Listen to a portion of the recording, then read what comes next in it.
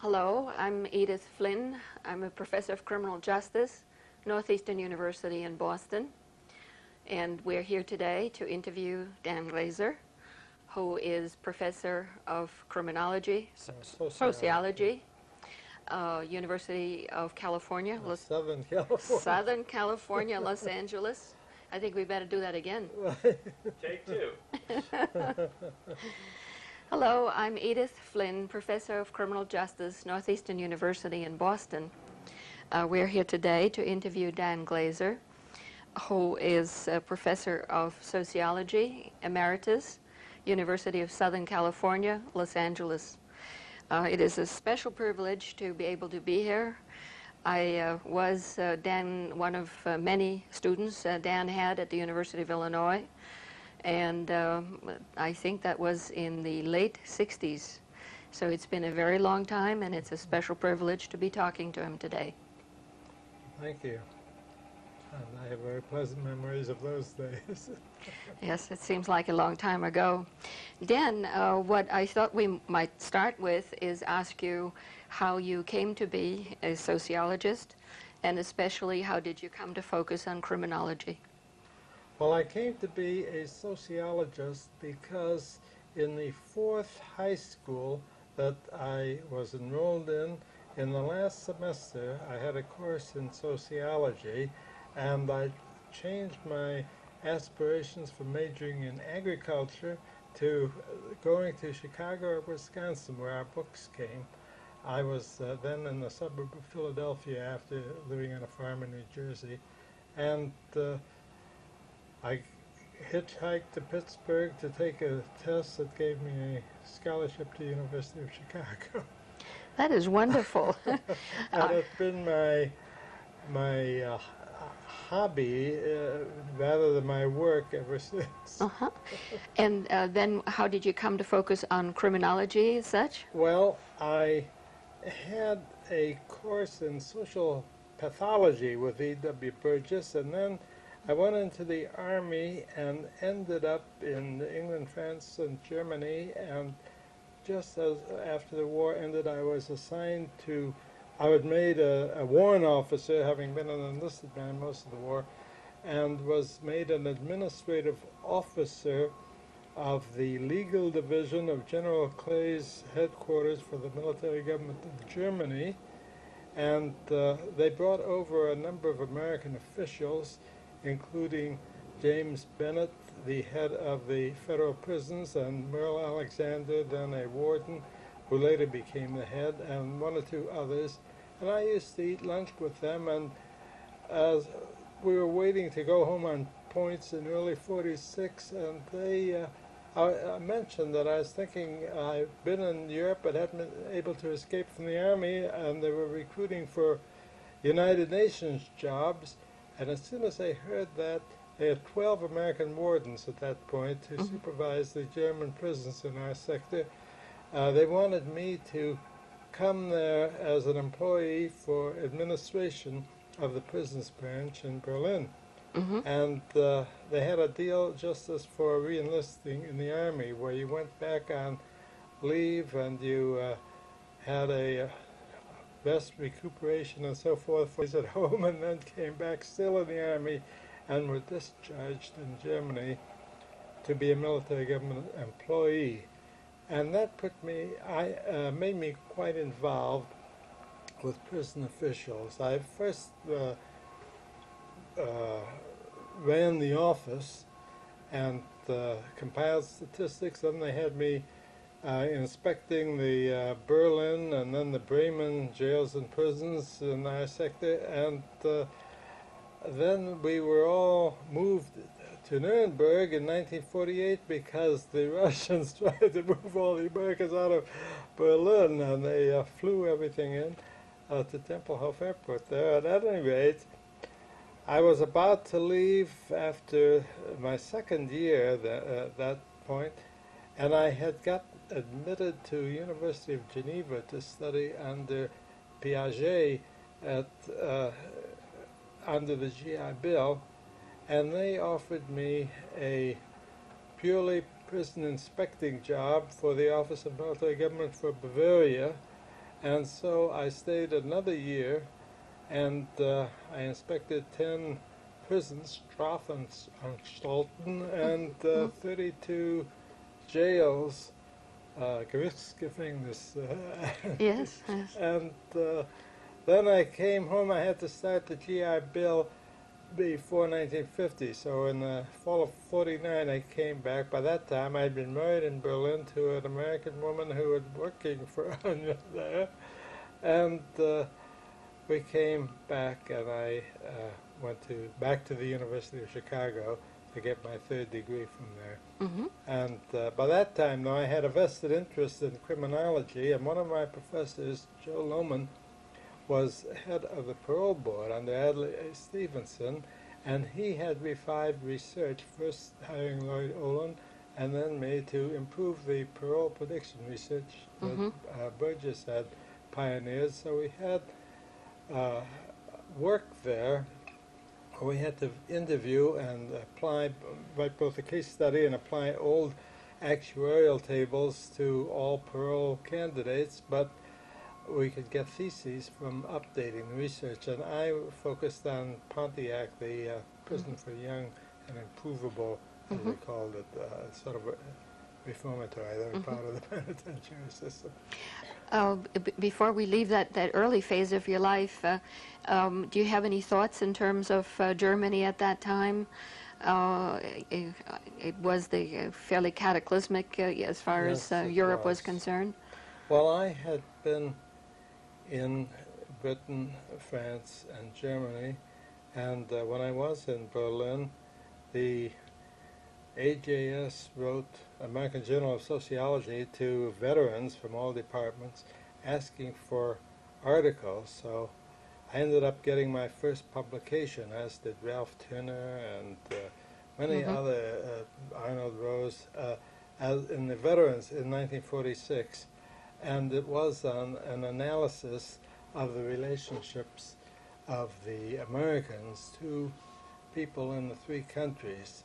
And uh, essentially, the relationship in Germany was competitive, uh, was cooperative. The Mhm. Germans had everything to benefit from collaborating, Mm. and the Germans were much less impoverished or impaired and, and much uh, more healthier than the people in uh, France particularly and also in Britain. Yes. And uh, whereas in France and Britain we were in large concentrations competing for the drinks and the women, in Germany we were scattered around and there were lots of, uh, there was a surplus of women, they lost males, and so it was a Mhm. great place and uh, for a young GI. At any rate, uh, in the process of rebuilding, the, the, you see the military government closed all the courts and uh, they were supposed to check which prisoners were Nazis and which were Yes. regular criminals, but often the troops liberated everyone. Yes. And they gave all the military personnel a translation in English of the uh, German Criminal Code from 1932, and they were to apply it in military government courts. And then they only slowly opened German courts with uh, quotes denazified officials. Right. And but uh, the military government courts handled any case that involved a United Nations national, like people stealing from the army or DPs committing crimes. Mhm. And we were gradually, uh, and of course everybody was uh, economically hard up at the end of the war, and the prisoners were often starving completely. And uh, we had some emergency assistance. And they essentially applied American standards from the Bureau of Prisons to the German jails and tried to enforce them. Like they, the uh, Bureau of Prisons didn't allow two people in a cell at that time because they thought it promoted homosexuality. So we forced the uh, German jails and prisons that were built for two people to have either one or three numbers, things of this sort. And uh, then by the time I got to Bavaria, they were seeing the end of the occupation. The Bonn government, uh, uh, Bonn Constitution for Western Germany came into effect in September 49, and I didn't renew after June. Uh, uh, if I could have, one of three inspectors were kept with the State Department for liaison, but I wanted to get back to school. But Mhm. at any rate, we, in the last year, were acted, uh, the, pro- the prison and jail inspectors were members of a parole board for military government prisoners, and I would interview uh, inmates uh, sentenced by military government courts, and we'd parole all but the most severe ones. Mhm. Okay, now, um, when you went back to Chicago, um, you finished your, uh, you, you got your PhD. Yeah, I had, uh, I needed only one course, uh, one year of coursework because I had uh, got the bachelor's in 39 and then took some coursework and then got drafted in 40, uh, in 1941, but I was placed in 1B because my eyes were then about the same as now, uh, only 2200 without the glasses, but fully corrected.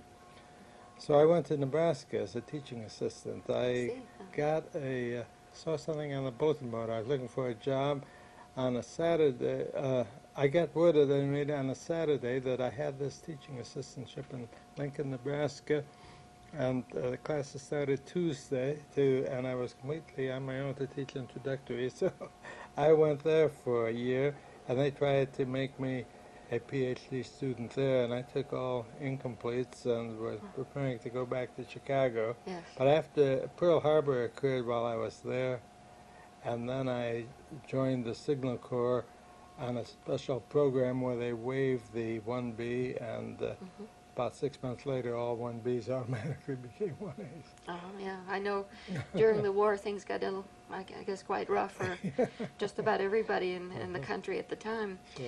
Um, when did you uh, develop the idea you wanted to go into teaching and make academia your life? Right from the beginning. Right from the beginning? Right, uh, right in my senior year of high school, I wanted to be a sociologist, and I went to Chicago. Uh, I applied to Chicago and Wisconsin because we had in a high school course a textbook by E.A. Ross from Wisconsin, and then we had at readings this Chicago series like the Gold Coast and the Slum, the Gang, Yes. and the Ghetto, and so forth. Those were classics. yes. Well, uh, all right. Um, once you had your PhD, then what happened? Well, uh, I got a job, uh, first temporary, but then uh, full time at the University of Illinois. Uh, it was in the middle of this uh, year, in fact.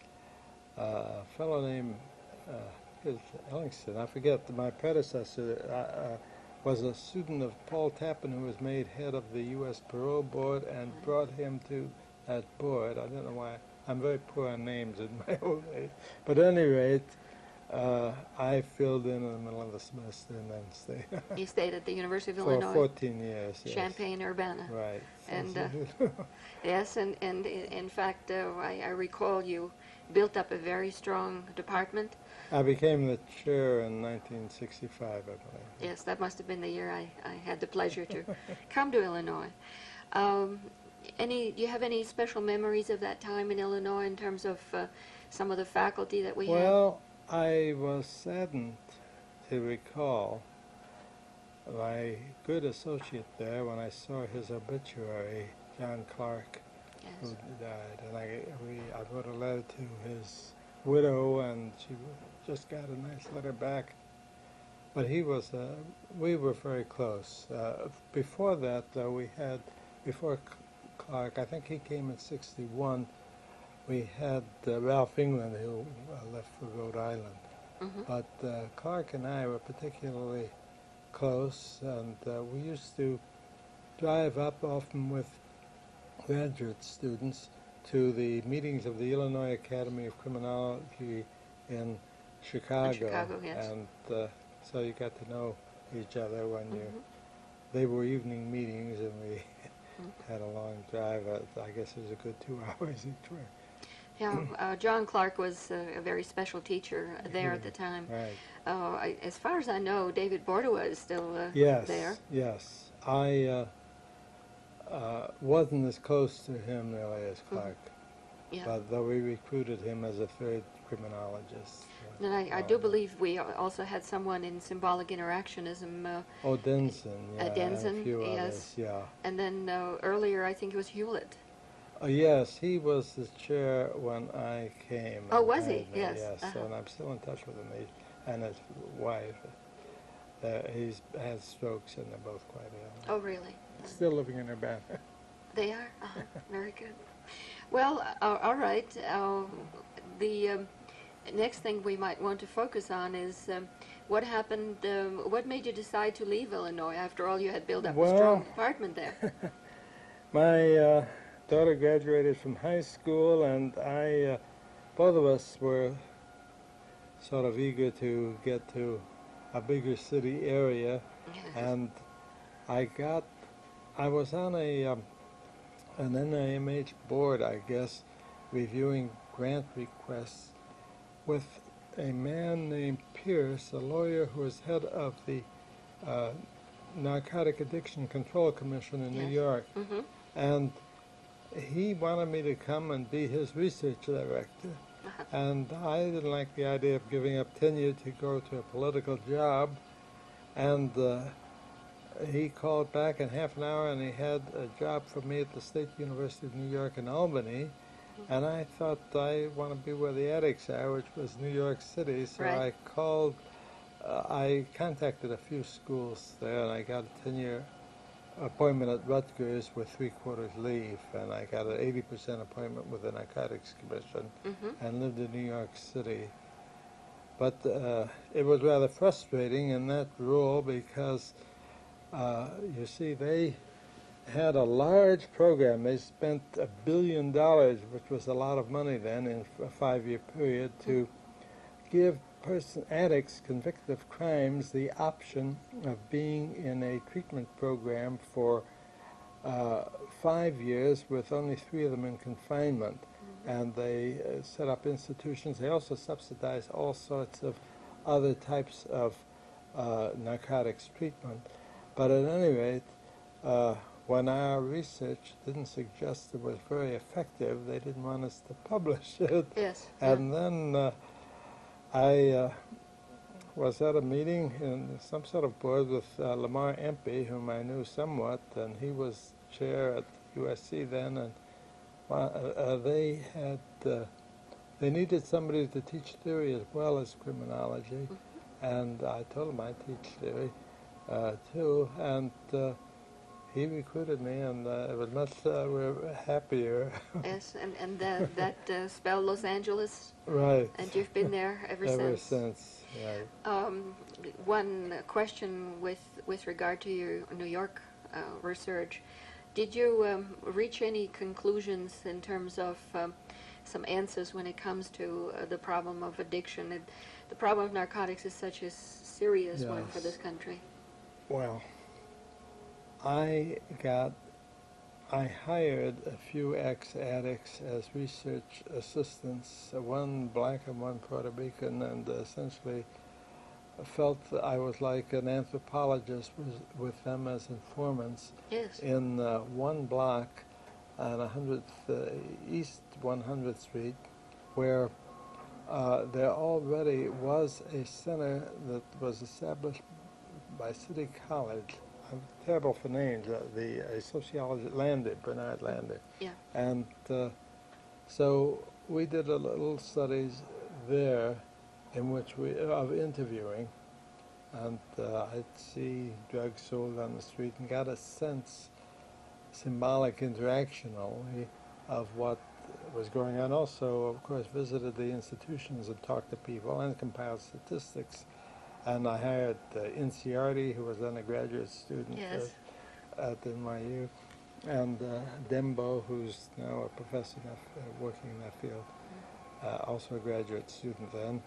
And, uh, well, the sense is that the social uh, support for addiction and the psychological reinforcement on a variable rate basis uh, tends to explain the attraction of drugs to delinquents and the biological process this was almost all heroin in those days Mhm. of uh, of uh, withdrawal symptoms that are only alleviated by more opiates tends to make it uh, compulsive also Mhm. and uh, we knew that there were many addicted persons among physicians and nurses who Yes, historically. uh, yes, and uh, I uh, read Lindesmith's writings and things of this sort, which uh, persuaded me that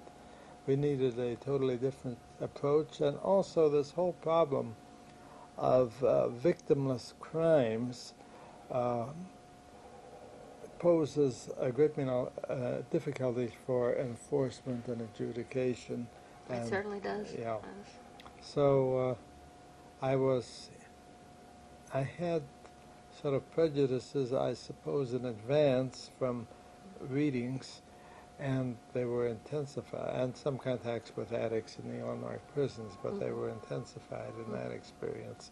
And particularly if we could publish anything that uh, was realistic about the prospects. I think I got one article there, but it was purely on on well, we did some survey reports, but uh, uh, on the interaction, uh, explaining the fact that you had addicted and non-addicted sibling, siblings in the same families on our block, Mhm. and uh, uh, it could be explained in terms of differential association, Yes. essentially within the family, uh, Yes. complementary roles rather than. And, and of course, also your own theoretical work of differential identification. Yeah, I, which was just applying Blumer to Sutherland. Yes, but a very, very good fit there. At that time, it seems so. Well, let me uh, just uh, just briefly ask you. Uh, uh, I think today the, the drug problem is, is preoccupying the country. Uh, It's eating up a lot of resources. Uh, it is uh, disproportionately contributing uh, inmates to our prisons and jails. Uh, would you have any recommendations for the future in terms of what direction we should take? Well, I think we have models in uh, Netherlands and Switzerland, particularly, and now in um, much of Western Europe, due to AIDS, they're getting away from a purely punitive approach, and I think we're beginning to see some of that and the greater emphasis on treatment and education. I don't, don't think it's politically feasible, and there might be other difficulties in outright legalization. I think the ultimate trend is towards reducing the visibility of the addiction, uh, of the, uh, th- this is what we've done to a much lesser extent with uh, some other vices like prostitution Mhm. and alcohol even. hmm Uh, you uh, limit where it can be sold. Uh, that's what the Dutch do, and Mhm. they don't allow any advertising. Mhm. The British don't allow advertising of gambling.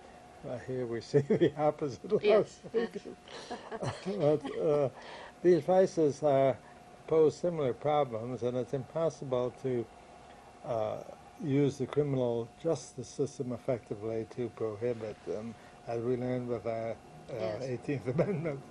Yes, and, and also the, the fact that it is just so easily hidden. It's Sure. it's very hard to control human Right. vice. Uh, it has Right. been so historically. There's no complainant in a victimless crime, so the police Mhm. don't know it except by entrapment. Yeah. Okay. All right. Uh, well, um, once um, you got to Los Angeles, um, what was your focus there? Well, uh, I did a variety of uh, research and writing. I collaborated with uh, Empey and Mac Klein in uh, two successive training grants, uh, and one had postdocs, and uh, essentially I had one in Illinois also, which was to train people with criminal justice experience to get a PhD. And they also had Sol Kobrin there, whom I had known since about 45, who sadly just died a few, uh, a couple months ago. Uh, and he came there on a postdoc fellowship after working in the, as an Illinois civil servant with Clifford Shaw in the Uh-huh. Chicago area projects and became, got a PhD there. He had worked with a master's degree, but also was a research associate and associate professor. Yeah. And uh, it's been a very congenial department and a good one in criminology and uh, not as prominent in other fields. Mhm. Uh, although it, I think it's rated 15th or 16th in the last tabulation, but it, it's uh, not as high as Illinois or UCLA. Yeah, yeah, UCLA and, and I think Illinois is, uh, uh, both of these schools are rated very well. Yeah. Well, um, let me ask you, uh, sort of change the topics a little bit and ask you about uh, something that has evolved since uh, since you left Illinois, and uh, that is, um, um, as we know, the European uh, criminologists are more based in law and in medicine, uh, forensic science, and they still pursue that with some vigor. Uh, to America's uh, credit, uh, we have taken the sociological approach to crime. I think, which is, is the more preferable one, but that could be my own prejudice. Uh, but since uh, those early days, let's say the 60s, uh, there has been a um, development uh, of uh, criminal justice, the field of criminal justice. It has grown in leaps and bounds. It, it's been tied to funding from the federal government. And um, somehow the study of criminology, in a way, has left sociology sociology departments. So I wanted to ask uh, your, your feelings and your thoughts on the fact that um, criminal justice is no longer part of sociology in many departments. Well, I think that the study of uh, criminal behavior and criminal justice agencies uh, requires an integration of a variety of perspectives. I think the law and even biology is pertinent. Uh, at the USC, also in our Social Science Research Institute, we have one of the strongest biological approaches under Sarnoff Mednick and Adrian Raine and uh, and uh, uh, Moffitt was with us, but Yes. uh, has gone to Wisconsin. Uh, at any rate, and I have I minored in psychology and and uh, anthropology, and I have uh, some uh, uh, acceptance of their perspectives as useful. I don't think of them as contradictory, but as complementary. Yes. And uh, however, I had, I'm still a symbolic interactionist essentially. I think of human beings as creating their worlds by uh, labeling them. Starting in childhood, they have to learn words that determine what they see and how they understand it according to the concepts that they incorporate. And this is basic to all non-reflexive behavior. Essentially, Mhm. it's interpreted, and you interpret. You have a conception of yourself and of others, and all of this uh, determines what behavior is evoked and what thought processes occur.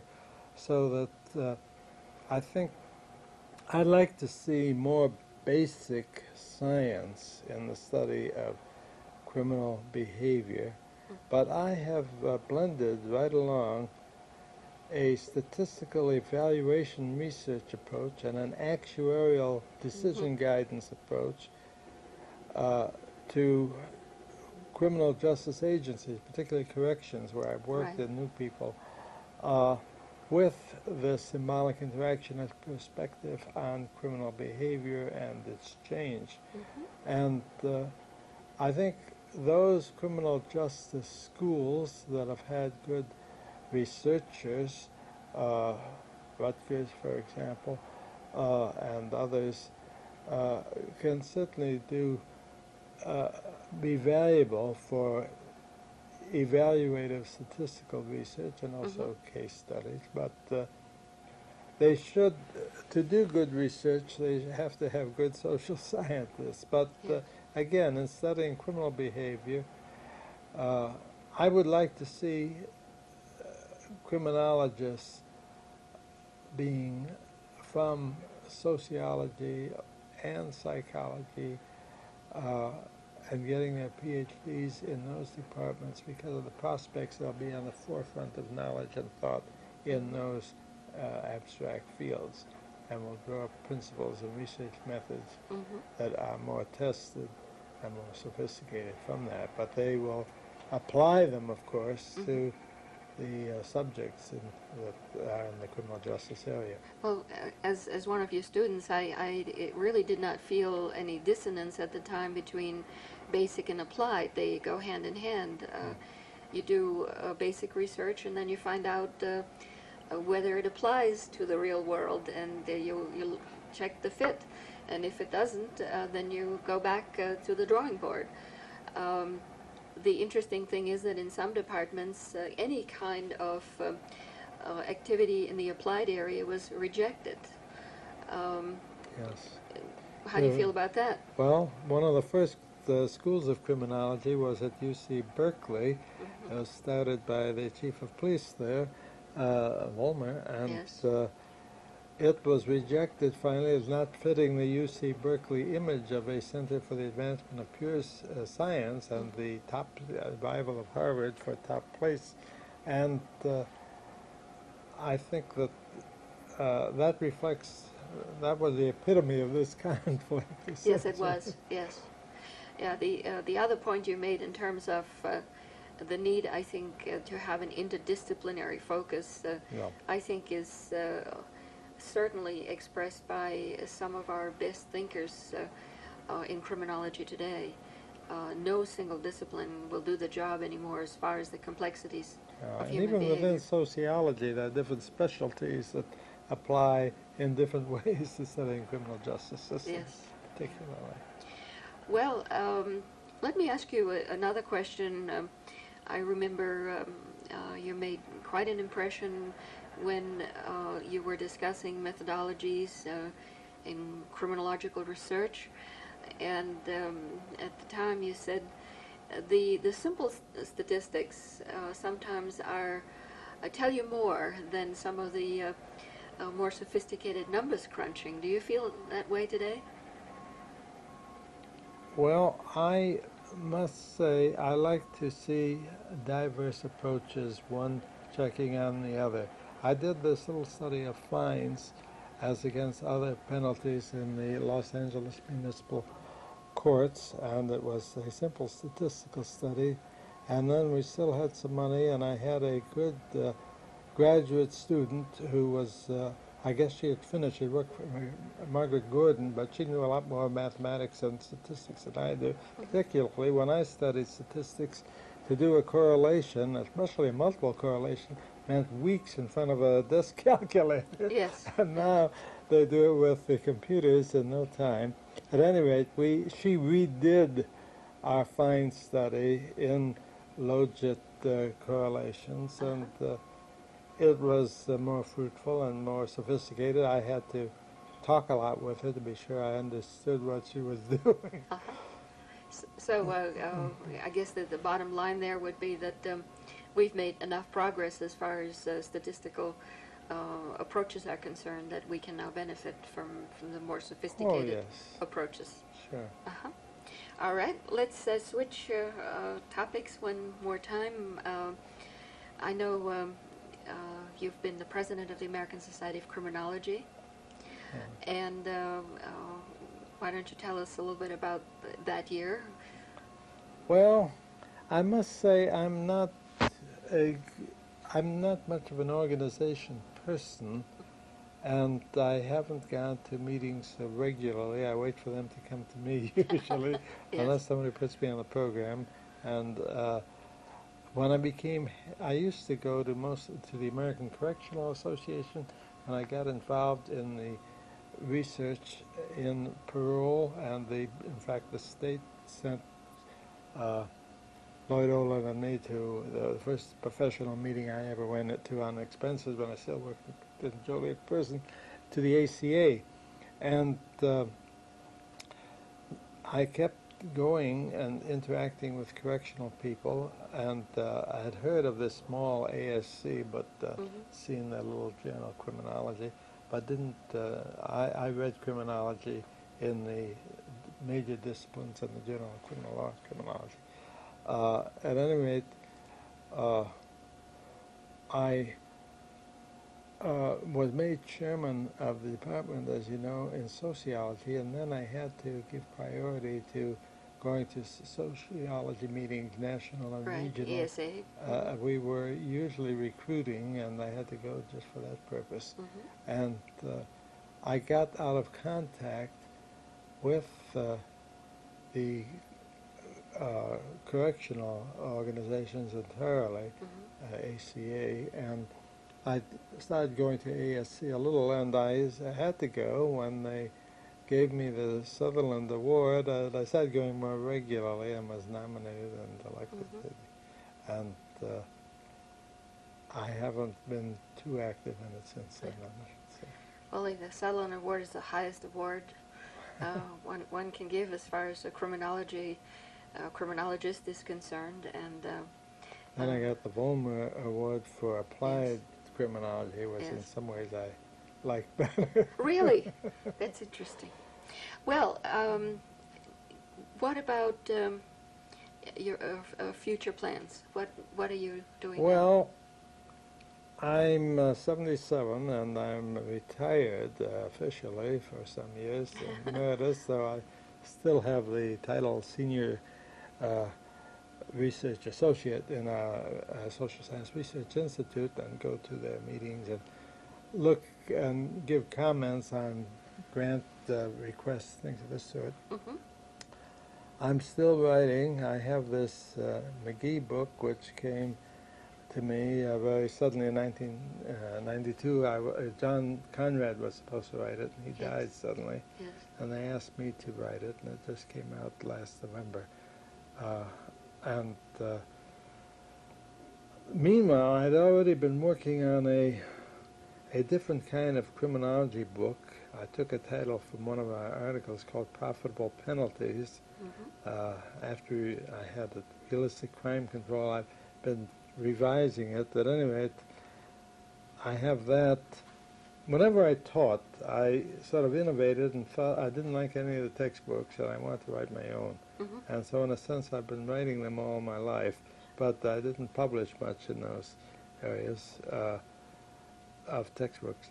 And now I have this uh, profitable penalties, which is in with uh, Sage and uh, and uh, Pine Forge. I have to Mhm. see the editor there, and um, I also had worked on a different kind of sociological theory book. And uh, if this, if I get this criminology book out of the way, I'll work on that.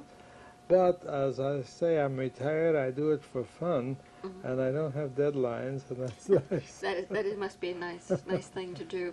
Uh, This uh, um, profitable penalties. You say that's a criminology book. yes.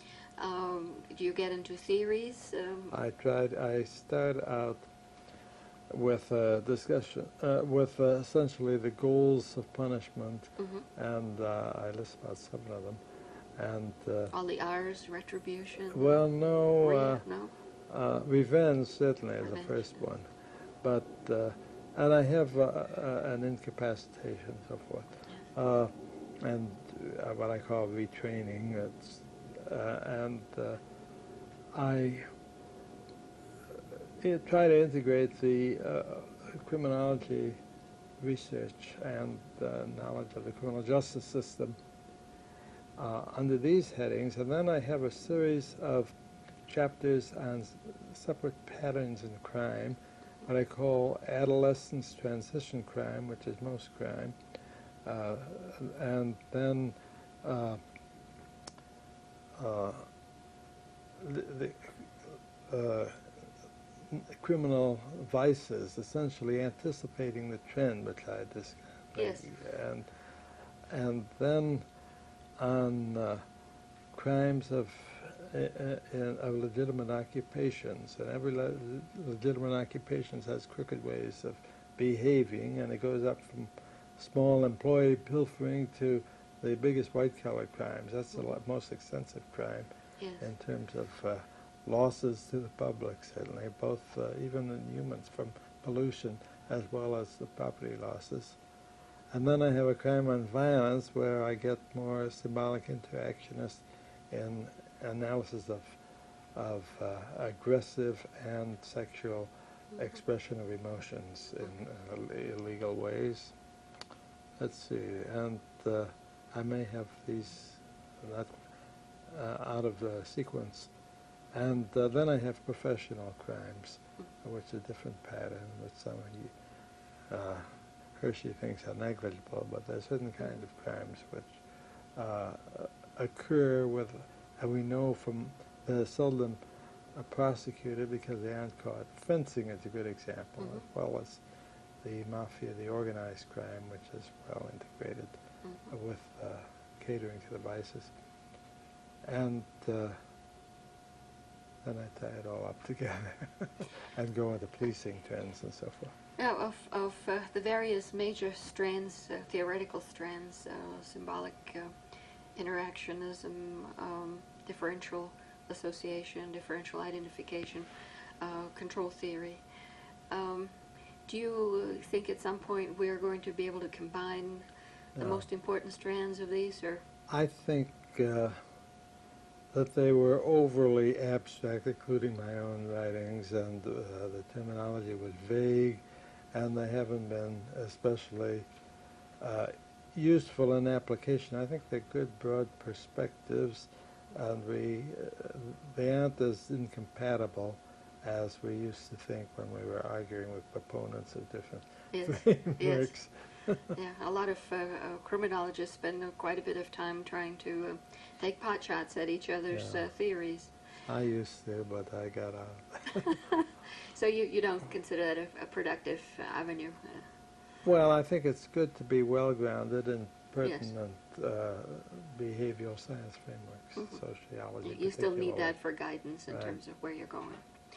Um, you know, when one looks at uh, at your career and uh, the many interests you've had in terms of narcotics research, or uh, statistical, actuarial work, um, it is really amazing. It's a very broad career in the sense that uh, I don't think anyone will be able to pigeonhole you. Uh, you know, this is a person who, uh, let's say, specialized in corrections or uh, juvenile delinquency. You've done it all, haven't you? Somewhat, but mostly corrections.